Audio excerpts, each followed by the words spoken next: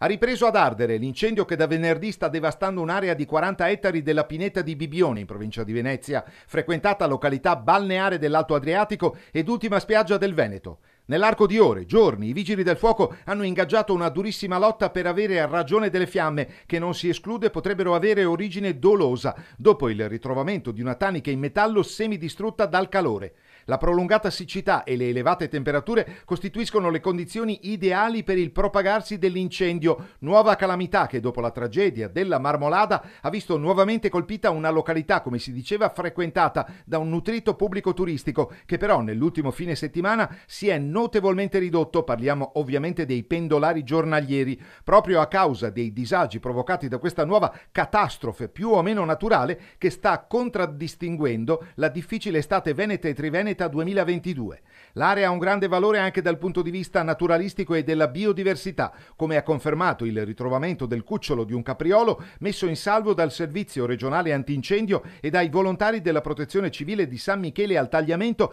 nell'oasi al limite proprio della zona colpita. Onore ancora una volta al difficile lavoro di chi, soprattutto in questa rovente parte dell'anno, è impegnato nello spegnimento delle fiamme. Usiamo il plurale perché nella giornata di domenica altri due principi di incendio prontamente bloccati si sono sviluppati sui Monti Lessini nel Veronese e sui Colli Euganei nel Padovano.